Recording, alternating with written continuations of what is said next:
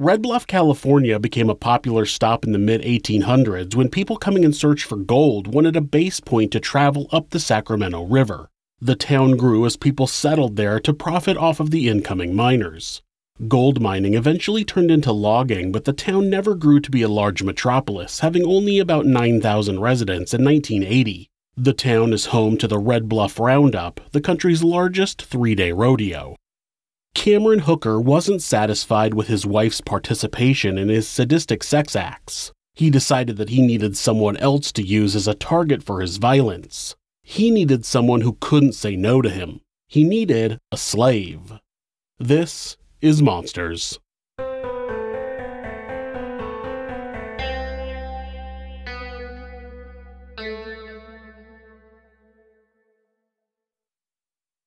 Cameron Hooker was born on November 5, 1953, in Alturas, California, to Harold and Lorena Hooker. He had a younger brother named Dexter. His family moved around every few years as his father chased work in construction or at lumber mills. His parents never divorced, and there were no reports of violence or fighting. It was in 1969, when Cameron was 15 years old, that his parents bought a piece of property in Red Bluff, California, about an hour north of Sacramento. As a teen, Cameron didn't stand out at all. He wasn't one of the popular kids and didn't participate in social clubs or sports. He spent most of his time on his own fantasizing about tying up women and having his way with them. He obsessed about dominating over women and having her act as his obedient slave. After graduation, Cameron got a job at a local lumber mill, but his work life wasn't much different than his school life. He didn't really engage with his coworkers. He mainly kept to himself and used his time at the milling machines to daydream about BDSM, which stands for bondage, discipline, and sadomasochism. It wasn't until someone introduced him to a woman named Janice in April of 1973 that he finally had someone to carry out his daydreams with. Janice Lashy, who went by Jan, was born in February of 1958 in Los Gatos, California, just south of San Francisco. Her family had moved up to Red Bluff when she was young and she was attending high school there. She was 15 years old and Cameron was 19. Her youth came with a naivety that was perfect for Cameron. He treated her well and got her attached to him before bringing up his interest in bondage. He asked her if he could tie her up in a tree, and she agreed because she didn't want to lose him. Cameron took Jan out to the woods and tied her up by her wrists in a tree. She said it was painful, but afterward he treated her with a lot of love and care, which she enjoyed. He never did anything she didn't want to do, and though she didn't like any of it, she continued in order to keep him happy. She would agree to go out into the woods and let him tie her up two to three times a month. He gradually escalated the sessions to involve whipping and even tying her up and dunking her in the water. Helpless and unable to breathe, she knew she didn't like what he was doing, but besides these few times, the rest of the time he was the nicest guy she'd ever met. She endured these punishments to have the nice guy the rest of the time. Jan wanted to make sure Cameron was in as much love with her as she was with him, so she lied and told him she was pregnant. To her pleasant surprise, he asked her to marry him. During his testimony at trial, Cameron would describe the pregnancy and then say, quote, the pregnancy turned out to be false, end quote. She would eventually tell him in 1979 that she lied, and she claimed that he told her that he knew. He also explained on the stand that Jan enjoyed the BDSM, which wasn't true at all. Cameron and Janice were married on January 18, 1975, in Reno, Nevada. Jan's parents gave her permission, and at 16 years old, she dropped out of school. They moved into a rented house in Red Bluff, and based on all outward appearances, they were a normal young couple. Inside, Cameron was continuing to escalate his painful sessions. He began choking Jan until she passed out, and when they had a fight, he became violent and threatened to kill her.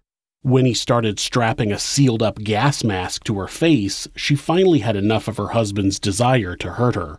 Cameron told Jan that they should bring in another woman to use as a sort of pain surrogate. If you need a name for your metal band, you can thank me in the comments for that one. Jan agreed, and Cameron started trying to find out exactly how to find said surrogate. At first, he considered placing an ad in the back of one of the underground papers that he read, but that would cost money and only attract someone temporarily. The only way to really have a permanent slave would be to kidnap her.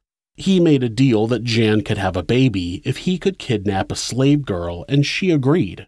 The deal was that Cameron was not allowed to have sex with the woman. He was only supposed to carry out his sadistic acts on her and have sex with Jan. The couple moved into a new rental house on Oak Street in Red Bluff. It was a small house, but it had a basement that would be perfect for what Cameron had in mind. He got to work using scrap wood from the lumber mill and constructed a table he dubbed the rack, which had eye bolts in it so the slave could be handcuffed to the device. Also, he built what would become known as the head box. It was a heavy double walled box with large metal hinges that went over a person's head and could be locked shut. Cameron and Jan had their first child, a daughter named Charity, in the fall of 1976. Jan was thrilled, but Cameron was still searching for his slave girl. It took almost a year, but Cameron got his wish on May 19, 1977. After work, he went home, loaded his wife and daughter into his car, and they went out for a drive. They were on the prowl for someone to become a slave for Cameron. This is a common tactic for a kidnapper and or rapist who has a wife or a girlfriend who is willing to participate in their evil deeds. A hitchhiker is much more willing to get into a car with a couple before they get into a car with just some lone guy. Now add a baby to that mix, and the person hitching a ride will have no hesitation hopping in the car. This is exactly how Colleen Stan felt when she hopped into the car of a young family as she was hitchhiking on the overpass over I 5 that evening. A car with a family and a baby couldn't be a threat, so she accepted the ride. Unfortunately, she would soon be locked in a basement with a crazy man torturing her. Colleen Martin was born on December 31, 1956, in Riverside, California, to Jack and Evelyn Martin. She had two younger sisters, Janice and Bonnie Sue, and her parents divorced not long after the youngest of the three was born. After the divorce, both parents stayed close, so the children had relationships with both of them. Both her father and mother eventually remarried, giving Colleen two half sisters and a half brother. Colleen was described as a creative, dreamy youth who wrote poetry and made gifts for people. In a story that kind of mirrored Janice Hooker's, Colleen dropped out of high school at 16 and got married in Carson City, Nevada, with her father's permission. The marriage, which took place on December 12, 1973, was to a man named Tim Stan, who Colleen had only known for a couple of months.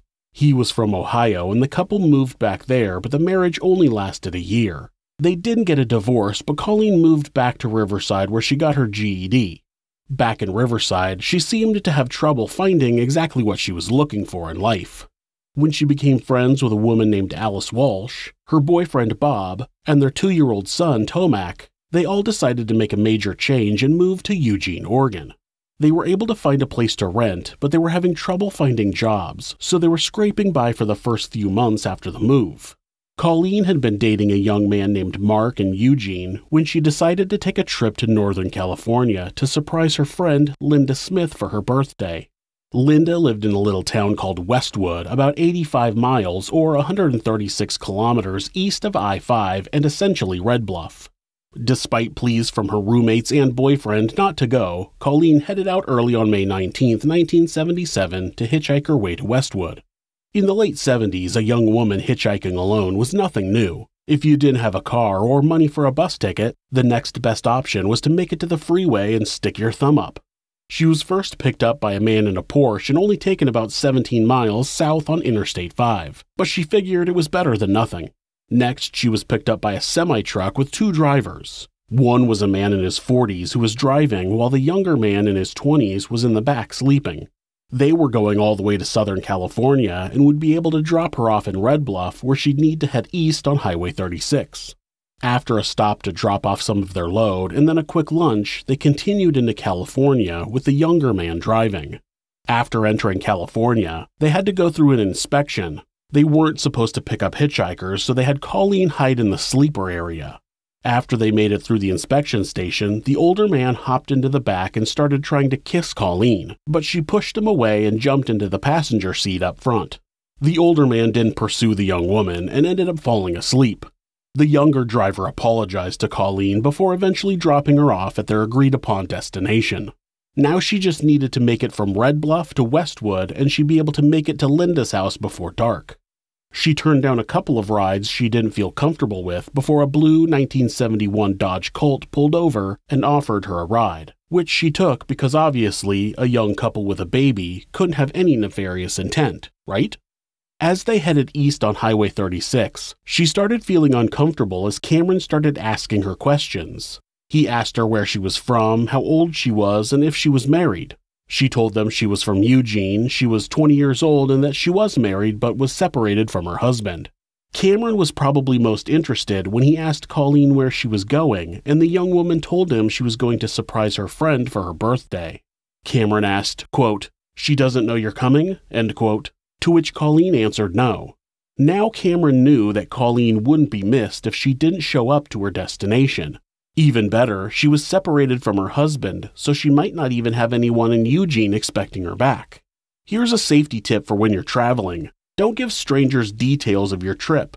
If I had a nickel for every time my wife gave out information that a stranger didn't need, I'd have enough money to hire Liam Neeson to get her back when she's inevitably taken.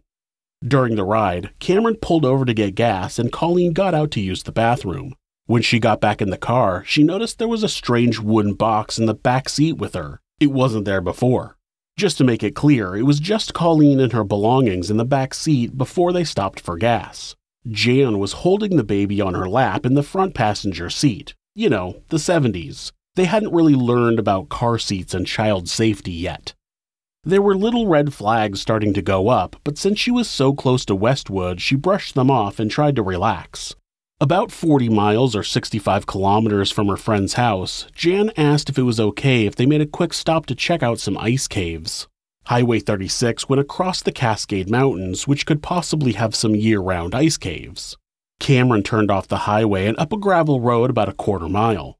Colleen waited in the car as the man and the woman with the baby got out of the car and walked toward a creek. After a minute, Cameron jumped into the back seat with a butcher knife and pressed it against her neck. He handcuffed her hands behind her back and put a blindfold over her eyes. Colleen said that Cameron was shaking, but he still carried out the abduction with quick precision. He put a gag in her mouth and tightened the straps around her head. The last step would explain what the wooden box in the back seat was. He opened it up and placed it down over her head. As he locked it closed, it sealed around her neck and created a dark, silent prison where she couldn't see, hear, or even smell what was going on around her. Cameron laid her down in the back seat and covered her with the sleeping bag she was traveling with. After Jan and the baby got back into the car, they went down the gravel road and headed down the highway back toward Red Bluff. They didn't go straight to their house on Oak Street, though. They stopped at some point and had a picnic. Cameron removed the head box and let Colleen sit up while they ate, but she was eventually recovered and taken to their home. Colleen was taken down to the basement and made to stand on a recreational cooler.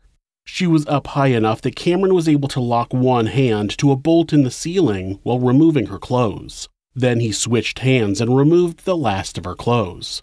Once she was fully naked, he locked her other hand to the ceiling and kicked the cooler out from under her.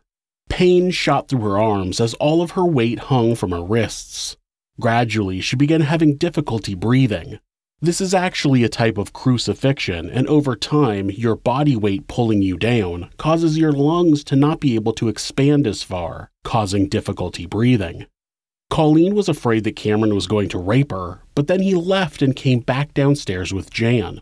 The couple stripped off their clothes and began having sex on the table in front of Colleen. When the man saw that Colleen was tilting her head back so she could see underneath the blindfold, he jumped up, grabbed a whip, and snapped it across her back. He whipped her repeatedly, telling her to stop moving. She was finally able to force herself to stop flailing long enough for him to stop. Eventually, he put a smaller box under her feet. Not one that was big enough for her to stand on fully, but she could stand on her toes and get minor relief on her wrists. When the sadist was finished having sex with his wife, he put the cooler back under Colleen's feet and unhooked her from the ceiling. Then he led her into a crate. He locked her ankles to one side of the crate and then her wrists to the other. Then he put the head box back onto her. The opening of the head box was slightly smaller than Colleen's neck, so it caused a constant sensation of being strangled.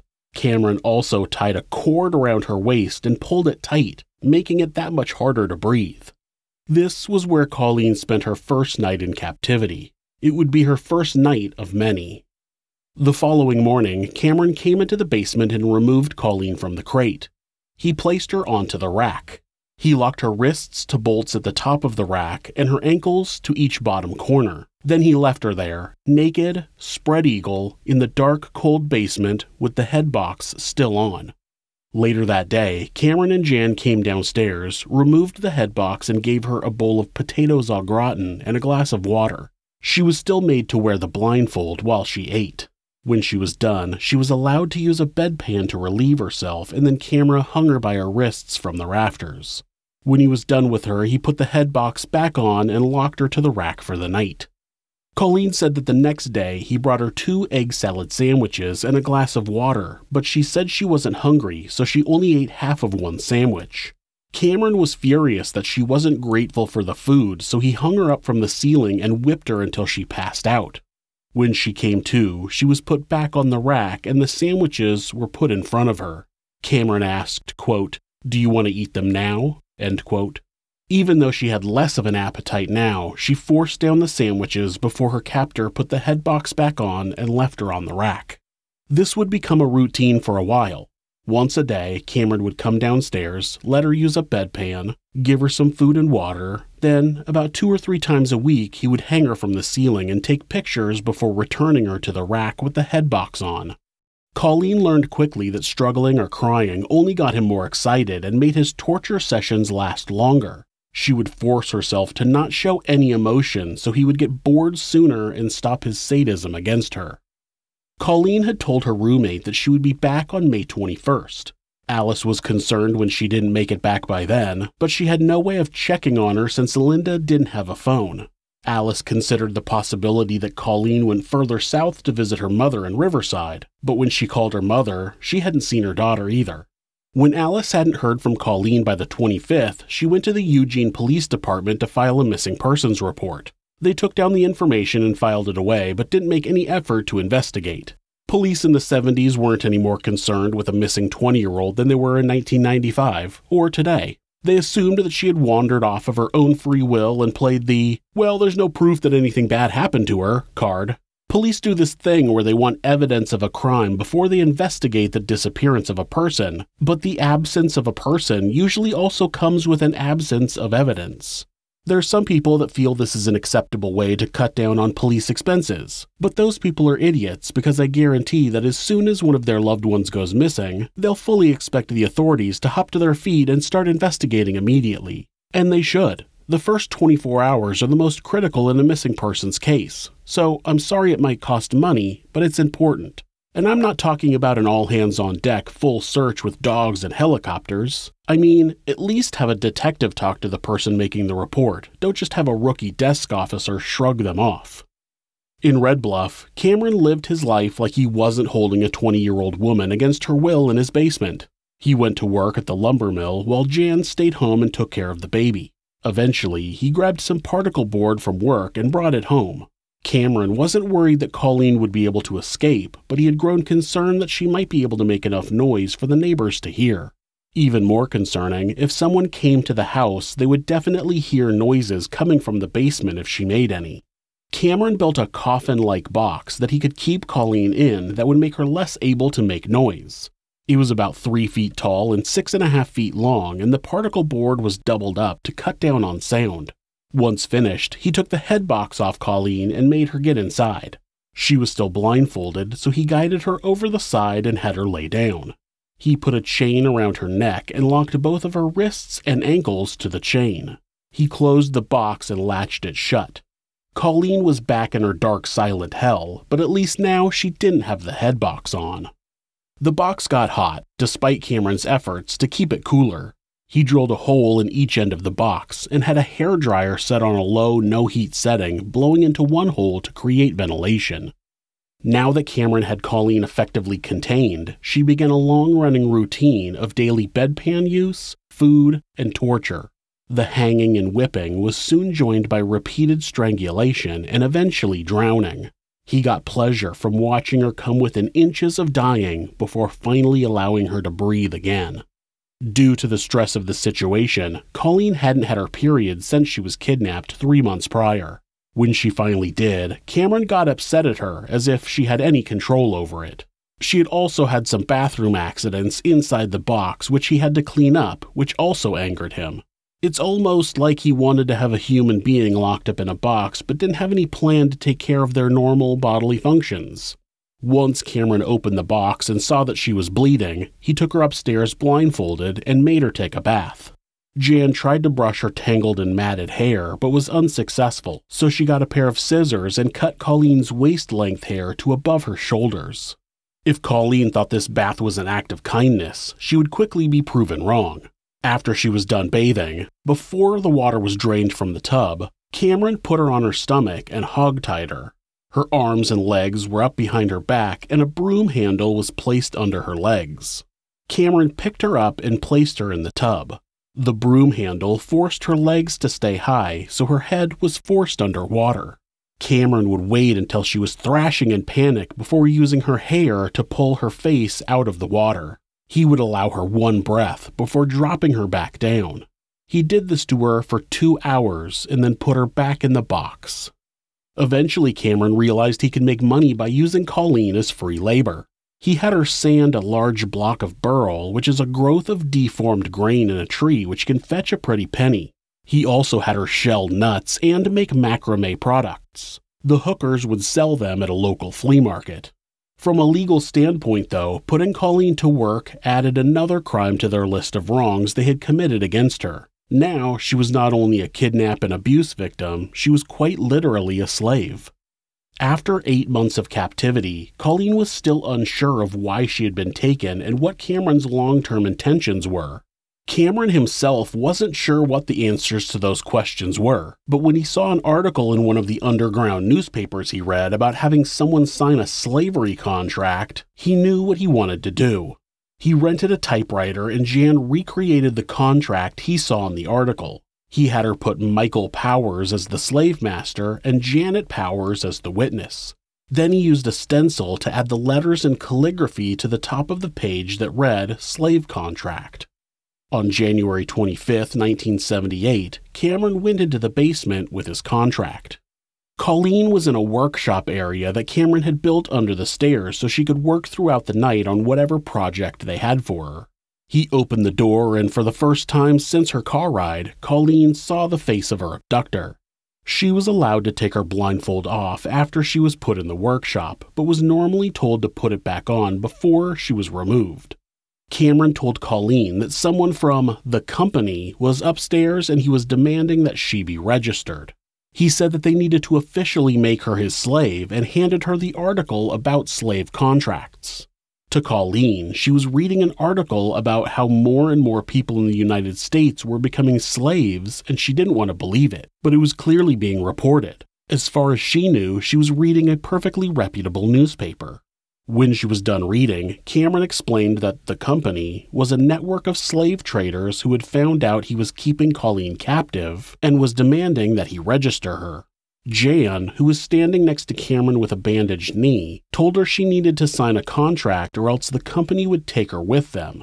Cameron then handed her the contract. It said, This indenture made the 25th day of January in the year of our Lord 1978 between Colleen Stan, hereafter known as Slave, and Michael Powers, hereafter known as Master. Witnesseth that slave for and in consideration and in humble appreciation of such care and attention as master may choose to afford her, has given, granted, aligned, enfeoffed, and conveyed, and by these presents does give, grant, enfeoff, and convey unto master all of slave's body and each and every part thereof without reservation, every bit of her will as to all matters and things, and the entirety of her soul, together with all in singular, every privilege, advantage, and appurtenance to the same belongings or in any wise appertaining. Also, all the estate, right, title, interest, property, claims, ego, and id of slave in, of, and to the same, and in, of, and to every part and parcel thereof. To have and to hold, all in singular, the above described body, will, soul, and premises, with all appurtenances thereof unto master and any of his assigns forever. It went on to list that the slave agreed to comply with the master, respect the master, maintain her female body parts, never cross her legs in the presence of the master, never wear underwear, and vow that her only source of pleasure will come from him. Oh, and of course, declare her everlasting unconditional dedication to serving him, obviously. When Colleen asked what would happen if she refused to sign it, Cameron answered, quote, I'll sign it for you and make you wish you had. End quote. Clearly, Cameron isn't familiar with the purpose of a contract. I mean, if you're just going to force someone to sign a contract or sign it for them, why have a contract? A contract signed due to threats or coercion isn't a valid contract. Of course, for Cameron, this was just a way to hold more power over Colleen. She now believed that the company was real and that she was now indentured to Cameron legally as his slave. He made Colleen put on a slave collar that he had made, telling her that the company required her to wear one. He explained that now he could allow her more freedom, but the company would be watching the house and monitoring the phones. If she tried to escape, the company would catch her and torture her. If she survived the torture, which was unlikely, she would be returned to him. Colleen set Cameron up to create even more fear when she asked what happened to Jan's knee. He told her that she used to be a slave who tried to escape. The company found her and tortured her until she was nearly dead. She was being held in a company facility, awaiting death when Cameron saw her and felt sorry for her, so he bought her. He said that her legs had been twisted during the torture and her knees are still affected by it. The truth was, Jan had recently had knee surgery. Colleen was told that her new slave name was K, just the letter K, and after a week, Cameron showed her a laminated card he claimed he received in the mail from the company that was her official slave registration. Though the story seemed far fetched to most people, Colleen believed every word. She was young and had spent almost a year of sensory deprivation. Her brain was starved for information, and Colleen allowed this information to fill in the holes in her life where she had questions. To her, this story made sense and answered her questions of why she had been taken. From that point on, Colleen was allowed to go upstairs at night and do chores. She cooked and cleaned and served both Cameron, who she called Master, and Jan, who she called Ma'am. She was allowed the use of the bathroom, but she had to kneel and ask permission before going. She was given a nightgown, but at any moment Cameron could yell, Attention! and Colleen would have to strip her nightgown off and stand on her tiptoes with her hands on the top of an arched doorway in the house. She was usually whipped as a punishment for something like not washing the dishes fast enough or not giving Jan a fork at dinner. In February of 1978, Jan wanted to test Cameron's love, so she suggested her husband bring Colleen up to their bedroom and have sex with her. She hoped that he would say no, but he jumped right up and ran to the basement like a giddy schoolboy. Once he brought his slave into their bed and began having sex with her, Jan got up and ran to the bathroom. She started throwing up, and Cameron followed her. Soon he put Colleen back in the box, and she wouldn't learn until much later what had actually happened. What she did know was that after that event, Jan became much more harsh with her. In April of 1978, the Hookers purchased an acre of land with a small mobile home on it. Cameron transported Colleen to the new house in the middle of the night, and once they were inside, he showed her where she would be staying. He had constructed an enclosed area in the frame underneath their waterbed. There was a removable panel at the end that she could use to crawl in and out of. Then a small set of stairs that went up to the bed were placed in front of the panel. The new house meant no close neighbors, but it also meant more yard work. Eventually, Colleen was allowed outside to do yard work and work in the garden. Colleen didn't mind the work though, as it was nice to be outside in the fresh air, and fortunately, this house didn't have a suitable place for Cameron to hang her by her wrists. That all changed once Cameron completed the construction of a small shed on the property. This became Cameron's new torture house where he would string Colleen up by her wrists, whip her, beat her, and burn her with matches. Over time, Cameron needed more and more punishment in order to be pleased. He built a stretcher, just like the medieval torture device. He strapped Colleen into it and pulled her body tight. This would cut off the blood supply to her hands and one time caused a dislocated shoulder. Since there was nowhere to hang her inside the trailer home, he built a large wooden X that he would strap Colleen to and use an electrical cord to shock her. Rape eventually became a regular part of Cameron's routine. As the pain increased, so did Colleen's freedom. By Colleen's third year of captivity, the Hookers had another daughter, Amber. Colleen would babysit the kids and make them meals. She was also allowed to go out running on her own. Cameron would tell her that she had 15 minutes and if she wasn't back, he'd notify the company. Cameron had convinced Colleen that one of their neighbors was a member of the company. After a different neighbor stopped her on one of her runs and began chatting with her, causing her to return late from her run, Cameron stopped letting her go running. She was eventually allowed to go out shopping and went out dancing with Jan. Other times, Cameron would send Colleen out panhandling. Eventually, Jan was told she couldn't work overtime at her job, so she got Colleen a job there. Her paycheck went straight into Cameron's bank account. These are the times that most people question why she didn't escape. As soon as she was alone, she could have gone to the police and reported Cameron. But that's only the obvious answer in our world. It wasn't that easy in Colleen's world. Cameron had effectively broken her spirit. He had conditioned her to obey his commands, or else she would be punished. He had convinced her that she was being watched at all times. He would tell her stories about how other slaves tried to escape, but the company found them and tortured them to death. He told her a story about one woman who escaped and found a police officer, but the officer was a member of the company and he took her back to her slave master. As punishment, she had her arms and legs amputated, she was blinded, deafened, and had her tongue cut out. Then she was hung by her hair in the slave master's bedroom. These are unimaginable horrors for a young woman who doesn't know any better. Until you've experienced Colleen's world, you can't say what she should have done.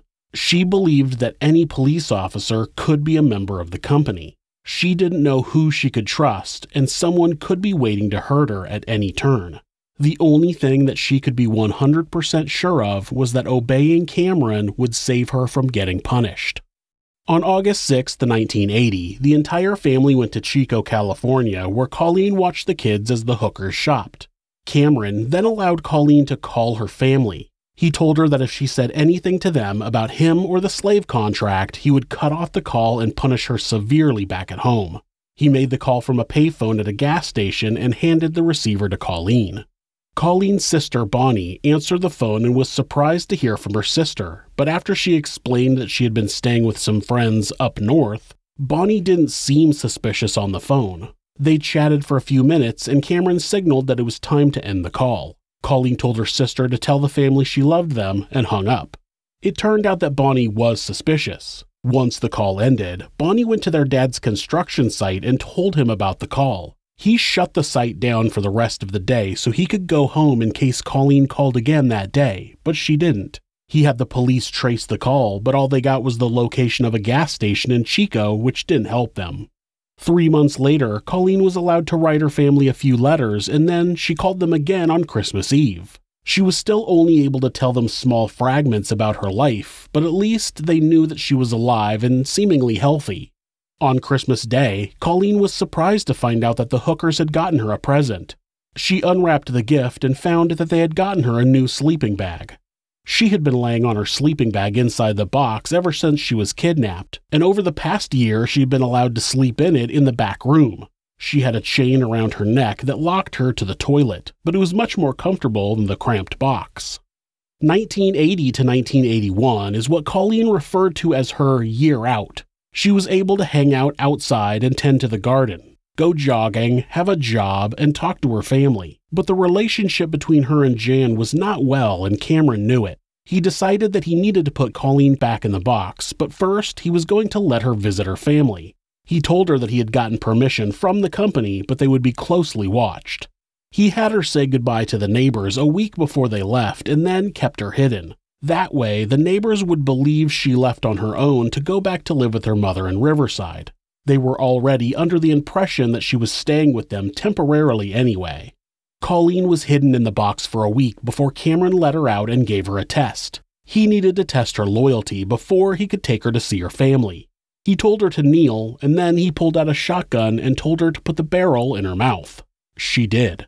Then he told her to pull the trigger. She didn't know if the gun was loaded or not. All she knew was that her best option was always to obey, so she pulled the trigger. Click. She passed the test.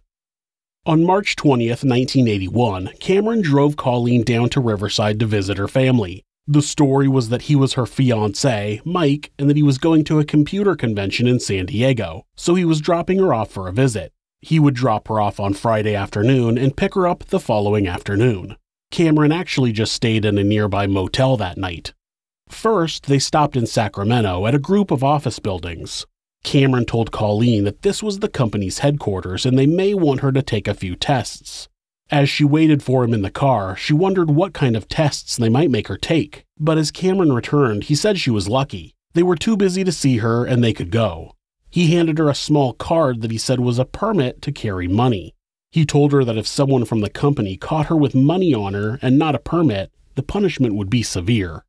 While Colleen was at her father's house, her sisters and mother were all there. They didn't pry about her absence because it turned out that they all believed she was in a cult and they didn't want to push her away. Her loss of weight, her pale skin, her lack of communication, it was obvious to everyone that she was in a cult. She spent the night at her father's house and stayed up late talking to Bonnie. She would later say that she came so close to telling her the truth, but she was so afraid that the company would end up doing to her family what Cameron had done to her that she just couldn't. In the morning, the whole family joined her grandmother at church before visiting Colleen's aunt and having lunch. Before Colleen knew it, Cameron was back to pick her up. He introduced himself to the family as Colleen's fiance, and when the camera came out, Colleen put her arms around Cameron and tried to play the part. The picture would later be used in court to try to convince a jury that Colleen wasn't a kidnapping victim. Once back at the trailer, with Jan and the kids staying at her mother's house, Cameron took the opportunity to make Colleen shower before he raped her and sealed her back in the box. March 21, 1981 was the last day of Colleen's year out. Colleen would spend the next three years in the box, only coming out to eat and be subjected to torture. Over the next three years, being released to eat was not a daily occurrence anymore. She said she probably ate four or five times a week on average. The lack of vitamins and sunlight made her skin even more pale and her hair started falling out. She was down to about 95 pounds. Once the family took off for two days and didn't leave her any food or water. The next time they took a trip for a three day weekend and left Colleen in the box with a mason jar of water and some cookies. At the beginning of 1984, Colleen began gaining her freedoms once again. They started with longer periods of time out of the box at night. Cameron and Jan had begun reading the Bible in an effort to repair their relationship. They confessed their transgressions to each other. Jan told Cameron that she had had a couple of affairs, and Cameron confessed to having sex with Colleen during his torture sessions. Colleen would later say that the rape suddenly stopped at one point, and it was probably at this time. After their confessions to each other, they began using religion to repair their relationship. Jan would bring Colleen out of the box a couple of times a day to help with chores and talk about the Bible. One of the few possessions the Hookers allowed Colleen to have was a Bible. In May of 1984, Colleen was again let out of the box full time. She was reintroduced to their daughters and the neighbors under the pretense of, hey, look, Kay's back. They told people that her name was Kay, as in K A Y, to match her slave name. The reason for her release was so that she could once again get a job and bring money back into the household. Not long after, Cameron gave Colleen permission to start going to church, and soon after, Jan started going with her. Cameron and Jan were beginning to interpret the Bible in very different ways. Jan was starting to doubt her complacency and Colleen's slavery. She was having a very deep crisis of conscience over what they were doing to the young woman. Cameron, on the other hand, had used some passages from the Bible to justify having sex with Colleen. He basically thought the Bible was telling him that he should have two wives and they should both obey him. So the rapes began again, and now Cameron wanted Jan to be involved at the same time. Jan's struggle became that much worse when she realized that Colleen had become her closest friend. When Jan got sick, Colleen stayed home and took care of her. They discussed the Bible together. They went to church together. To top it off, Cameron was now talking about capturing more slaves. She was becoming more and more anxious that her children would find out about the true nature of their relationship with Colleen, and now Cameron wanted to add more slaves? As time went on, it became clear to Janice that Cameron believed that he already had two slaves. She couldn't take it anymore. Finally, Jan broke and she went to see Colleen while she was at work. She told the young woman that Cameron wasn't part of the company. For some reason, she said that the company was real, but Cameron wasn't a member. Colleen thinks that she might have thought it would scare her into not going to the police. Either way, they both left the motel where Colleen worked and went to the church where they told the pastor the truth. The man of God had a hard time understanding exactly what the women were telling him. He was experienced counseling people about average problems in their jobs, marriages, and finances. He knew nothing about slaves and torture. Since it was time for Jan to pick up Cameron from work, they went home for the night and pretended like everything was normal. The next day, the women packed up and took the girls with them to Jan's parents' house.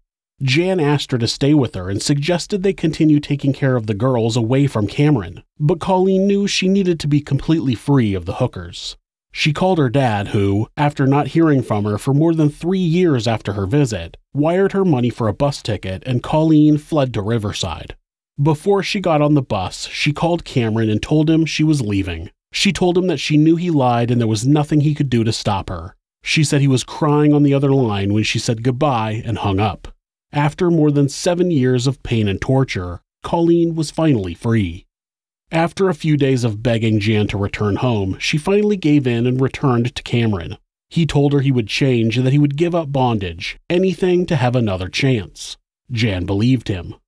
He began going to church with her, and even though both the pastor and Jan's parents were told the truth about Colleen, neither of them said anything. They didn't report it to the police, nothing. As far as they were both concerned, it was a private marital problem and was none of their business. Colleen initially kept in touch with Jan, who told her Cameron was going to change and convinced her that he deserved a second chance to do that for some unknown reason. Though Colleen's family urged her to go to the police, she refused, honoring her agreement with Jan to give Cameron the chance to change. Though the bondage and torture stopped, Cameron quickly stopped his efforts to change. Jan knew that he was a lost cause and finally reported Colleen's kidnapping and enslavement to police. But that wasn't all. Detective Al Shamblin went to the church where he had set up a time to meet with a woman named Janice Hooker.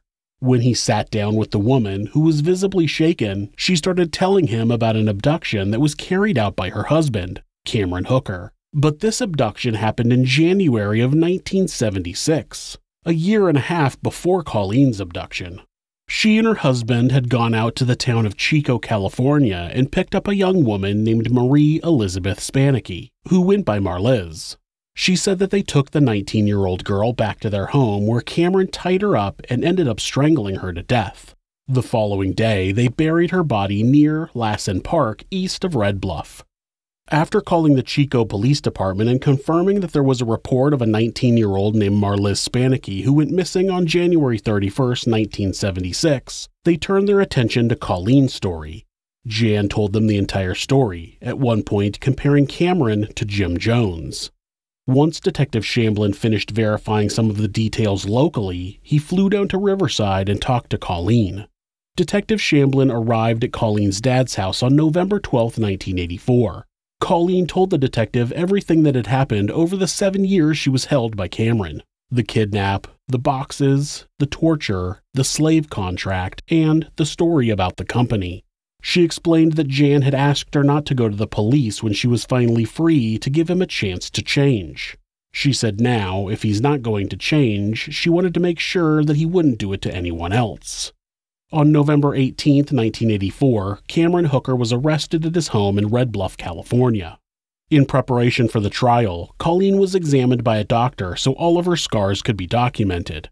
She measured an inch taller because of the stretcher, which also damaged her shoulder. She had scars on both of her wrists and one ankle. She had a scar on her labia where Cameron had pierced it, claiming he was tagging her for the company. She had electrical burns on her thighs. Her hair was thinning and her eyesight was damaged from years of darkness. She also had calluses on her body from laying in the box after a preliminary hearing deemed there was enough evidence to charge Cameron Hooker with felony kidnapping with a weapon, seven counts of rape, three counts of false imprisonment, and a number of other horrific crimes, Tehama County decided that they couldn't afford to put him on trial. They planned on giving him a plea deal for a minor charge that would give him the possibility of freedom in less than five years.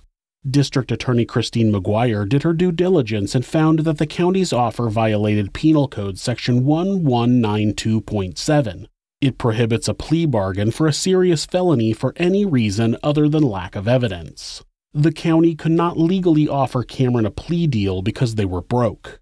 A few days later, the Assistant Attorney General of California called and made it clear that the county could not offer Cameron a plea deal.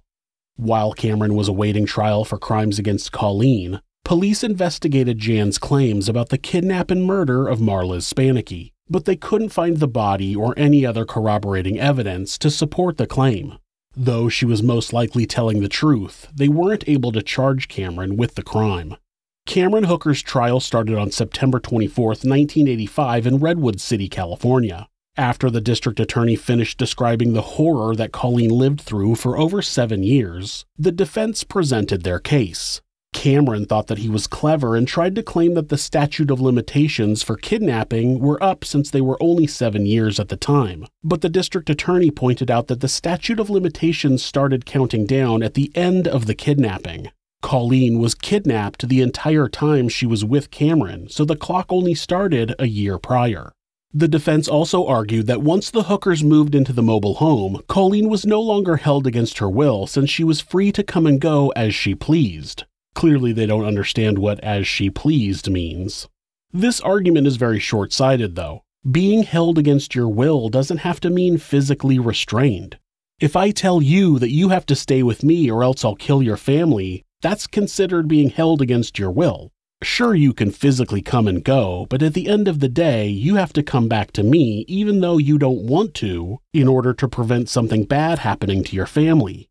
Colleen was told that she would be hunted down and tortured to death if she tried to escape, so she always returned to the trailer. That certainly shouldn't be considered free to come and go as you please.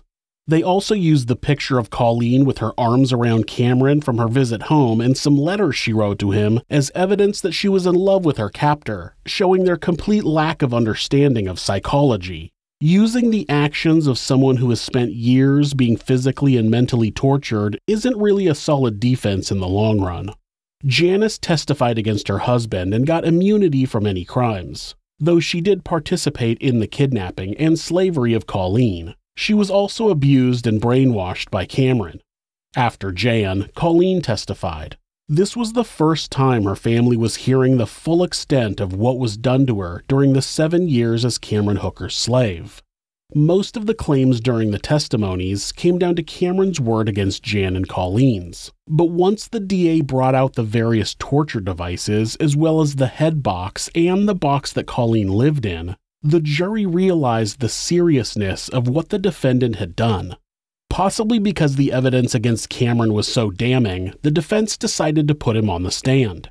Cameron openly admitted to kidnapping Colleen, something he believed he couldn't be punished for. Then he launched into a story about how Colleen was high on drugs when he kidnapped her. He said he only hung her for about five minutes that night because she started crying, so he took her down. After a few days in his basement, he felt bad about what he had done and was going to let her go, but she said she'd go to the police. He also claimed that he could tell she was going through withdrawals and she kept asking for some pills from her purse. Colleen would later clarify that the pills she was asking for were her birth control pills because she was expecting Cameron to rape her, which he eventually did. Cameron continued his story, describing how he cared for Colleen for two weeks as she detoxed, and that he hadn't done any more bondage to her during that time. He claimed that after she stopped having withdrawals, it was her idea to try more bondage. On top of that, Cameron claimed that Colleen asked him multiple times why he wasn't having sex with her, implying that she wanted him to. Then he said that the first time they did have sex, he asked her first and she gave him permission. Then he claimed that he offered to take her to Riverside in September of 1978, but she told him she wanted to stay. Yeah, sure she did. The strange part of Cameron's testimony was that he told the truth about most of the seven years that Colleen was held captive. He admitted that he kidnapped her. He admitted that he locked her in a crate the first night, then onto the rack, and then he built the box. He admitted that they put her to work in the workshop. He admitted lying about the company and having her sign a contract under duress. He just peppered in lies that made it sound like Colleen was not being held against her will or being raped. Unfortunately for Cameron, the jury knew he was lying, and those lies just reinforced how much of a horrible monster he actually was. Cameron Hooker was found guilty of kidnapping with a special circumstance of using a knife during the crime. He was found guilty of six counts of rape, with some of them having a special circumstance, such as use of force, violence, duress, and threat of immediate bodily harm. He was sentenced to up to 25 years for the kidnapping, plus 5 to 10 years for using a knife, along with a total of 69 years for the rapes and unlawful imprisonment charges. The California Department of Corrections could keep Cameron Hooker in prison for up to 104 years. He was denied parole in 2015, and his next parole hearing should have been in 2030. But due to COVID, parole officials announced that they wanted to parole him in March of 2021. Due to an overwhelming outcry against that, Cameron has been assigned a temporary label of sexually violent predator, which means he would be required to be sent to a psychiatric hospital upon his release, indefinitely. He will be having a trial later this year to determine if that will happen, which it absolutely should. I mean, what should really happen is that he should be granted parole and then have to live in a box in Colleen Stan's basement for the rest of his pathetic life. But unfortunately, the state doesn't let me punish people anymore. If you're the victim of domestic abuse, please reach out to someone for help. Please talk to your local battered women's shelter or call the National Domestic Abuse Hotline at 1 800 799 SAFE. That's 1 800 799 7233. Or you can go to thehotline.org to chat with someone online. The great thing about this website is that, at any time, hitting the escape key twice will take you to a Google search page. That way, if your abuser is nearby, you won't get caught looking for help. If you're having feelings of harming yourself or someone else, or even just need someone to talk to, please contact your local mental health facility, call 911, or call Mental Health America, who operate the National Suicide Prevention Hotline at 1 800 273 TALK. That's 1 800 273 8255. They're available 24 hours a day, 7 days a week, and will talk to you about any mental health issue you might be facing. Thanks so much for watching this video. You can help us out by hitting the like button or leaving us a comment. You can also subscribe to the show to ensure you don't miss an episode. If you'd like to support the show, you can do that by checking out our merchandise at Teespring. You can also discuss the channel and the episodes on our subreddit, r forward slash this is monsters. You can find more ways to support our show and how to find us on social media by visiting thisismonsters.com. Thanks again, and be safe.